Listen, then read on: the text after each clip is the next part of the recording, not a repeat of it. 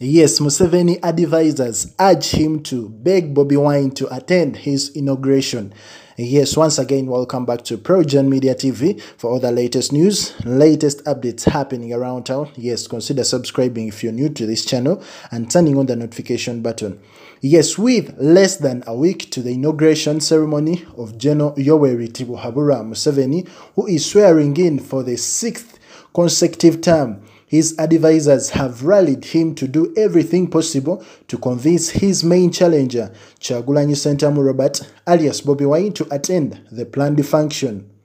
Yes, truth be told, Your Excellency, much as we have the sixth term in our hands, it is very vital that Bobi Wine attends this function.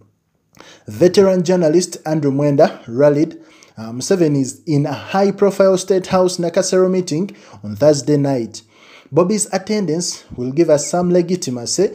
Even the embittered, embittered Western nations may retreat uh, the sanctions they've slapped on our economy. He added, Yes, one of Museveni's advisors on youth affairs asked him to engage Urban Slam supporters of the National Unity Platform. In fact, when Museveni delegated his youth mobilizer, Lillian Aber, now a woman MP uh, in Kitugum, she instead connived with some new elements like Jennifer Full Figure to bribe young people with Uganda shillings 50,000 each to turn up um, youth coordinators of NUP. In fact, a boastful Museveni tweeted on Thursday how he has finally engaged NUP supporters. The tweet suffered a backlash from NUP leaders who disregarded the group as merely a bunch of masqueraders. The gimmick failed to pick up, and now Museveni's advisors are now say it is vital for Museveni to involve uh, the Kamwokya group in a roundtable talks. In fact, plans are underway to release some of the jailed party supporters uh, on May 10th in a court bail. This is, however, not yet verified by security sources. So, mu abakulu baavuddeyo ne baba nga museveni bamuteera ekirowoozo ku mmeeza ne bamugamba mu byonna byakola mu byonna byonna byazze akola mukyalina okukola ekigenda omuyamba kwe kwaniriza bobi wine ku kulayira bobi wine ajje ku kulayira kwe okitegeera ne bamugamba ekintu ekyo wanaakikola kijja gezaako omuwa enkizo ennene ennyo n'okumugjako sanctions oba e, envumbo ze bamutaddeko bali abazungu. So museveni ali awo naye ali puzzled tamanyi kyakola naye ng'ate kyebagezezaako okuba nga bamugamba.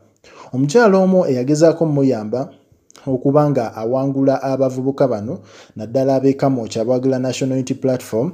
Omukyala amanyiddwa nga lilian abba yali minisita w'abavubuka mu biseera ebyo naye kati yafuuka mp wali ekitugumu so omukyala ono kyamutabukako ye n'asalawo agende mu bwa mp olw'ensonga yafuna ba full figure ne basobola naaba nga ye kye yabassaamu bagende nga basasula buli muntu emitwalo etaano etaano okusobola okuba nga adda ewa museveni ekintu ekitaasoboka so ne leero omukulu uh, amanyiddwa nga andrew mwenda bwe babadde basinkanako no pulezidenti oyo kibuhabura museveni bamuteeredde ekirowoozo ku mmeeza ne bamugamba mbyakola byonna idea gy'abasookerako kwe kubanga afuna bobi wine amwanirize ku mukolo guno gw'okulayira.